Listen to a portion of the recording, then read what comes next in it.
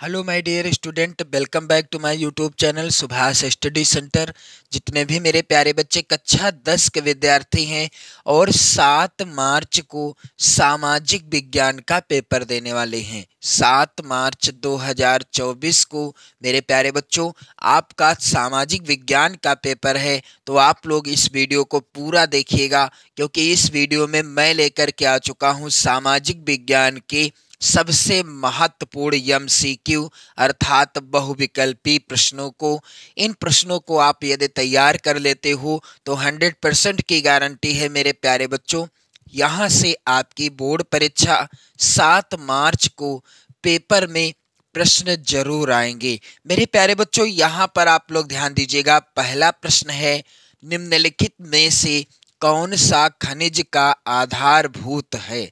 दिए गए विकल्पों में से कौन सा खनिज का आधारभूत है? और आपसे रिक्वेस्ट है कि आप लोग इन सभी प्रश्नों को अपनी नोट्स पर लिख लेना।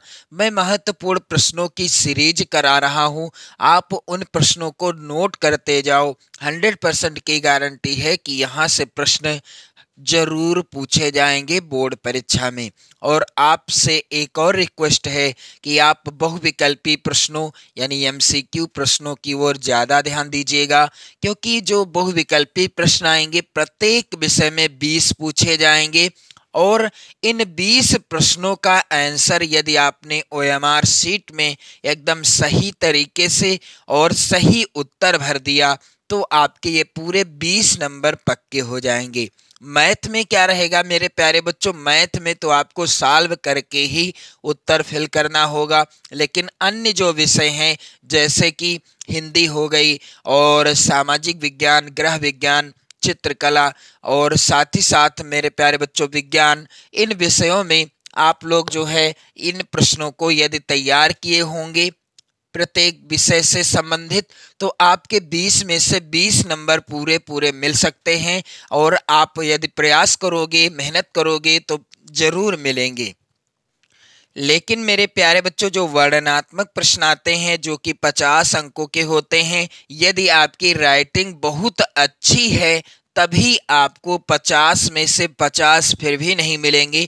एक आध नंबर काट लिए जाते हैं। तो इसलिए आप लोग जो है 20 बहुविकल्पी प्रश्नों की ओर ज़्यादा ध्यान दीजिए। और जो बड़े प्रश्न हैं उनको भी आप ध्यान दें, ये नहीं कहता मैं कि आप सिर्फ़ 20 प्रश्नों से ही पास हो जाओगे, ऐसा नहीं होगा। आप 20 प्रश्नों की ओर ज़्यादा ध्यान दीजिए और जो वर्णनात्मक प्रश्न आएँगे 50 अंक के, इनकी ओर तो ध्यान आपका जाना ही चाहिए।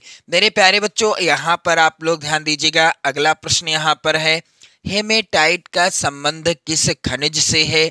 पहला है विकल्प यहाँ पर तांबा, दूसरा विकल्प है बाक्साइट तीसरा विकल्प है सोना और चौथा विकल्प है यहाँ पर लौह अयस्क। तो हेमेटाइट का संबंध किससे है? इस प्रश्न का उत्तर होगा मेरे प्यारे बच्चों। लौह अयस्क से हेमेटाइट का संबंध है लौह अयस्क से अगला प्रश्न है, मेरे प्यारे बच्चों, और वेरी इंपॉर्टेंट प्रश्न है। आप लोग इन प्रश्नों को जब लिख लोगे तो आपको ये प्रश्न कंठस्थ हो जाएँगे, याद हो जाएँगे। यहाँ पर वेरी इंपॉर्टेंट प्रश्न है 2024 बोर्ड परीक्षा के लिए। कोरबा प्रसिद्ध है। पहला विकल्प है किसके लिए? कोयला के लिए। दूसरा विकल्प है प्राकृतिक गैस के लिए, तीसरा विकल्प है सौर ऊर्जा के लिए और चौथा विकल्प है मेरे प्यारे बच्चों बाक साइट के लिए। तो कोरबा जो है, यह क्यों प्रसिद्ध है, किस लिए प्रसिद्ध है? कोरबा, इस प्रश्न को याद करने की ट्रिक मैं आपको बताता हूँ। का से कोरबा और का से कोयला। का से कोरबा, का से कोयला। आप लोग ध्यान देंगे, का से हो जाएगा क्या? कोरबा। और का से क्या हो जाएगा? कोयला, ये थोड़ी सी ट्रिक है। आप समझें तो अच्छी बात है। यहाँ पर का से कोरबा और का से कोयला, यानी कोयला के लिए क्या प्रसिद्ध है? कोरबा, यानी कोरबा प्रसिद्ध है किसके लिए? कोयला के लिए। यहाँ पर पहला विकल्प सही होगा। अगला प्रश्न है, झारखंड में कोडरमा, झारखंड में कोडरमा, यानी झारखंड का जो कोडरमा है, यह किसका अग्रणी उत्पादक है? पहला है विकल्प अभ्रक का, दूसरा विकल्प है लौह अयस्क का, तीसरा विकल्प है मेरे प्यारे बच्चों तांबा का, चौथा विकल्प है सोने का। तो झारखंड का जो कोडरमा है, यह किसका अग्रणी उत्पादक है? इसका उत्तर होगा मेरे प्यारे बच्चों, अभ्रक का। प्रश्न अगला है, मेरे प्यारे बच्चों, किस खनिज को काला सोना कहा जाता है? दिए गए विकल्पों में से किसे काला सोना कहा जाता है? पहला है विकल्प यहाँ पर हीरा, दूसरा विकल्प है जस्ता, तीसरा विकल्प है कोयला और चौथा है विकल्प प्लेटिनम। तो यहाँ पर उत्तर क्या होगा? किस खनिज को काला सोना कहा जाता है? इस प्रश्न का उत्तर हो जाएगा कोयला। कोयला जो है इसे क्या कहा जाता है? काला सोना भी कहा जाता है। कोयले को क्या कहते हैं? काला सोना भी कहते हैं। अगला प्रश्न है मेरे प्यारे बच्चों यहाँ पर। किस खनिज को वर्तमान शताब्दी का ईंधन माना जाता है? दिए गए विकल्पों में से किस खनिज को वर्तमान शताब्दी का ईंधन माना जाता है? पहला है विकल्प कोयला को, दूसरा विकल्प है सीएनजी गैस को तीसरा विकल्प है प्राकृतिक गैस को, चौथा है विकल्प पेट्रोलियम को। तो दिए गए विकल्पों में से किसको वर्तमान शताब्दी का ईंधन माना जाता है? इस प्रश्न का उत्तर क्या होगा मेरे प्यारे बच्चों? यहाँ पर आप लोग ध्यान दीजिएगा, प्राकृतिक गैस को वर्तमान शताब्दी का क्या माना जाता है? ईंधन माना जाता है। अगला प्रश्न यहाँ पर आप लोग ध्यान दीजिएगा, निम्नलिखित में से कौन सा ऊर्जा का परंपरागत स्रोत है। तो यहाँ पर पहला विकल्प क्या है? सौर ऊर्जा। दूसरा विकल्प है कोयला। तीसरा विकल्प है पवन ऊर्जा। चौथा है विकल्प ज्वारीय ऊर्जा। तो इस प्रश्न का उत्तर समझने से पहले मैं आपको एक चीज़ कंफर्म कर देना चाहता हूँ। यहाँ पर आप लोग ध्यान दीजिएगा, ऊर्जा के परंपरागत साधन या संसाधन। परंपरागत परंपरागत स्रोत या संसाधन, मेरे प्यारे बच्चों, किसे कहते हैं? और ऊर्जा के गैर परंपरागत, ऊर्जा के गैर परंपरागत स्रोत या साधन किसे कहते हैं? मेरे प्यारे बच्चों, यहाँ पर आप लोग ध्यान दीजिएगा, ऊर्जा के परंपरागत स्रोत और ऊर्जा के गैर परंपरागत स्रोत से क्या तात्पर्य क्या है? तो परंपरागत स्रोत वह स्रोत होते हैं जिनका एक बार एक बार प्रयोग करने के बाद वह हमें पुनः प्राप्त नहीं होते। पुनः प्राप्त नहीं होते। आप लोग ध्यान देंगे, पुनः प्राप्त नहीं होते, ऊर्जा के परंपरागत स्रोत कहलाते हैं। और ऊर्जा के गैर परंपरागत स्रोत किसे कहते हैं? जिनका हम एक बार प्रयोग करने के बाद क्या करते हैं? उन्हें दोबारा, यानी बार बार नवीकरण करके बार बार नदीकरण करके भी उपयोग कर सकते हैं। तो ऊर्जा के परंपरागत स्रोत कहलाते हैं, जिनका एक बार हम प्रयोग कर लेते हैं, या एक बार इनका प्रयोग होने के बाद ये दोबारा उस स्थिति में नहीं रहते कि इनका पुनः प्रयोग किया जा सके और ऊर्जा के गैर परंपरागत स्रोत वह स्रोत हैं जिनका एक बार प्रयोग करने के बाद उन्हें नवीकरणीय रूप से भी प्रयोग किया जा सकता है। नवीकरण करके भी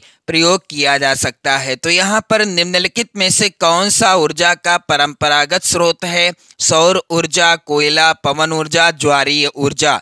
सौर ऊर्जा ऊर्जा का गैर परंपरागत स्रोत है, क्योंकि इसका जो है हम एक बार प्रयोग करने के बाद पुनः नवीकरण के रूप में प्रयोग कर सकते हैं। लेकिन कोयला जो है, यदि कोयला एक बार जल गया, आप लोग ध्यान दीजिएगा, कोयला एक बार जला देने पर क्या होगा, वह राख हो जाएगा। कोयला एक बार जला देने पर उसकी राख हो जाएगी तो वह दोबारा नहीं जलाया जा सकता या उसका दोबारा प्रयोग नहीं किया जा सकता। तो ये है ऊर्जा का परंपरागत स्रोत।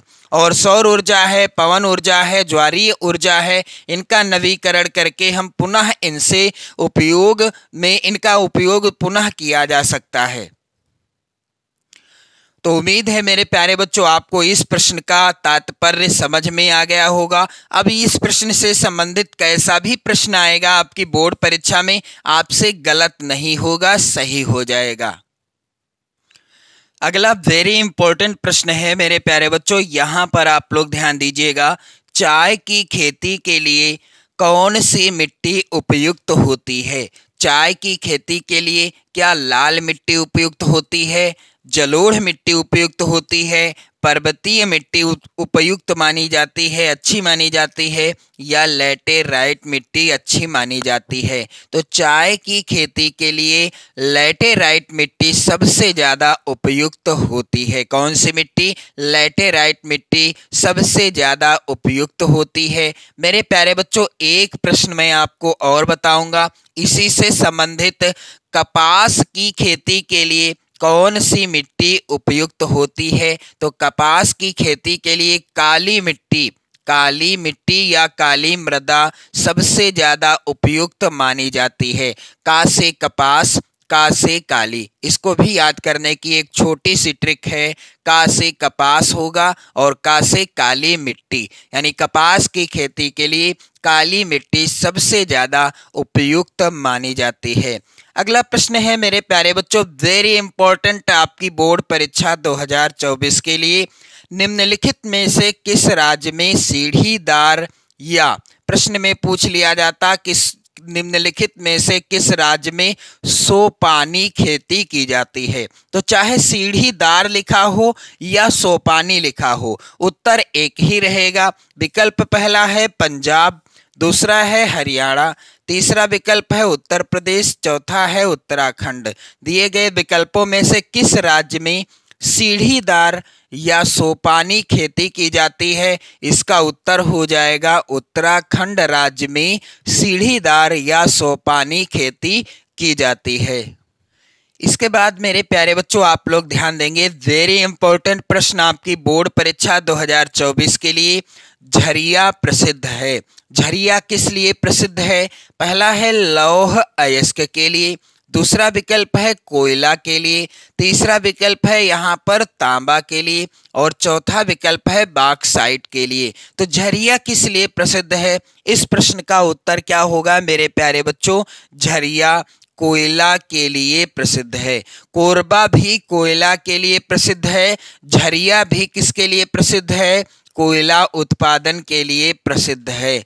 अगला प्रश्न ये भी आप लोग ध्यान देंगे 2024 बोर्ड परीक्षा के लिए वेरी इंपॉर्टेंट है। आप लोग इन प्रश्नों को ज़रूर नोट कर लेना, मैं आपसे पहले ही बता चुका हूँ, क्योंकि सभी महत्वपूर्ण प्रश्नों को ही इस वीडियो में शामिल किया है। आप लोग देखोगे पहला यहाँ पर विकल्प क्या है, प्रश्न का, और प्रश्न क्या है, मुंबई हाई प्रसिद्ध है। मुंबई हाई किस लिए प्रसिद्ध है?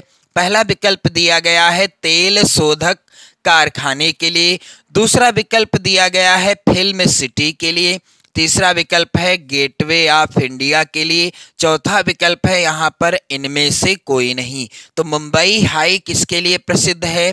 तेल शोधक कारखाने के लिए प्रसिद्ध है। अब ये प्रश्न थोड़ा सा चेंज होकर भी पूछा जा सकता है, यानी विकल्पों में परिवर्तन किया जा सकता है। कुछ इस तरह से आप इसको भी ध्यान में रखेंगे।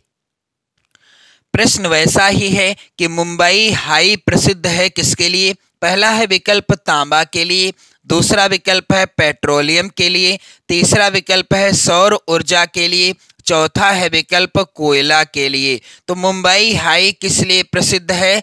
पेट्रोलियम के लिए, यानी तेल शोधक कारखानों के लिए। यहाँ पर उत्तर हो जाएगा।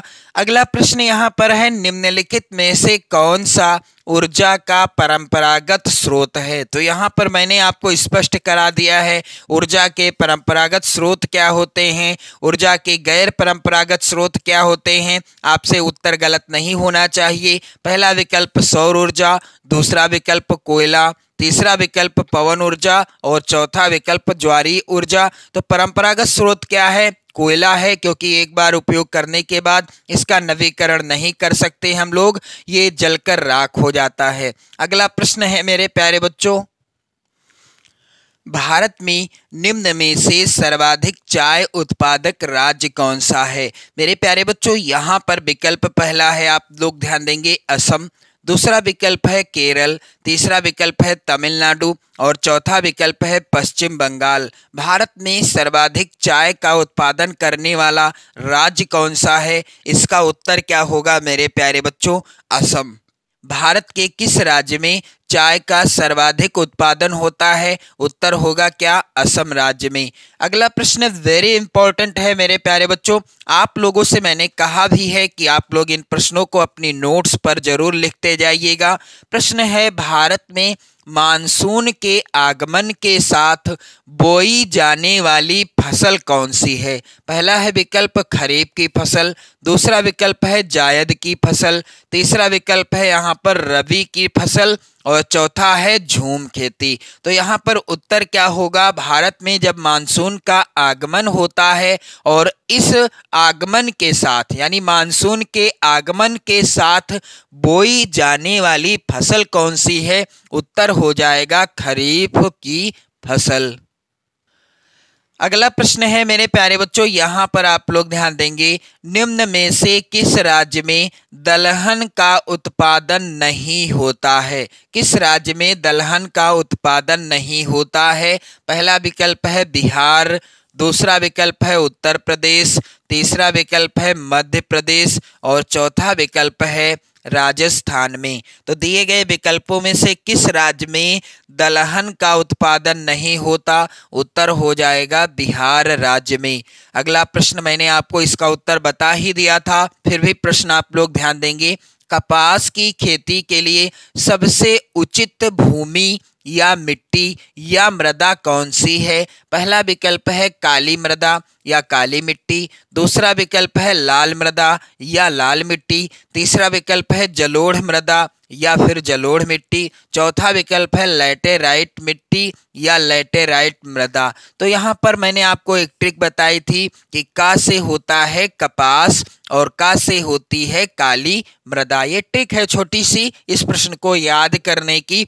का से कपास और का से काली मिट्टी। का से कपास का से काली मिट्टी, यानी कपास की खेती के लिए सबसे उचित भूमि कौन सी है? काली मिट्टी है। अगला प्रश्न मेरे प्यारे बच्चों, यहाँ पर आप लोग ध्यान देंगे। करतन दहन कृषि, जिसे झूम कृषि भी कहा जाता है, निम्नलिखित में से किस राज्य में पाई जाती है? करतन दहन कृषि या झूम कृषि, दिए गए विकल्पों में से किस राज्य में पाई जाती है? पहला विकल्प है उत्तर प्रदेश में। दूसरा विकल्प है राजस्थान में, तीसरा विकल्प है उत्तराखंड में और चौथा है विकल्प मिजोरम में। तो कर्तन, दहन, कृषि या झूम कृषि दिए गए विकल्पों में से किस राज्य में पाई जाती है? इस प्रश्न का उत्तर क्या होगा मेरे प्यारे बच्चों? यहाँ पर आप लोग ध्यान दीजिएगा, इस प्रश्न का उत्तर हो जाएगा। मिजोरम राज्य में करतन दहन कृषि, या जिसे झूम कृषि कहा जाता है, पाई जाती है। अगला प्रश्न यहाँ पर आप लोग ध्यान देंगे, निम्न में कौन सी रोपड़ फ़सल है? दिए गए विकल्पों में से कौन सी फ़सल है, जो कि रोपड़ फ़सल के अंतर्गत आती है? पहला विकल्प है यहाँ पर गेहूँ, दूसरा विकल्प है चना तीसरा विकल्प है गन्ना और चौथा विकल्प है मूंगफली दिए गए विकल्पों में से कौन सी फ़सल है जो कि रोपड़ फ़सल है? यहाँ पर इस प्रश्न का उत्तर क्या होगा मेरे प्यारे बच्चों? गन्ना एक रोपड़ फ़सल है। गन्ना कैसी फ़सल है? रोपड़ फ़सल के अंतर्गत आता है। आप लोग इन सभी प्रश्नों को अपनी नोट्स पर लिख लेना। मैं लेकर के आऊँगा आप सभी के लिए अगले महत्वपूर्ण टॉपिक से रिलेटेड महत्वपूर्ण वीडियो तब तक के लिए मेरे प्यारे बच्चों, आप लोग पढ़ते रहें, मस्त रहें, स्वस्थ रहें। जय हिंद।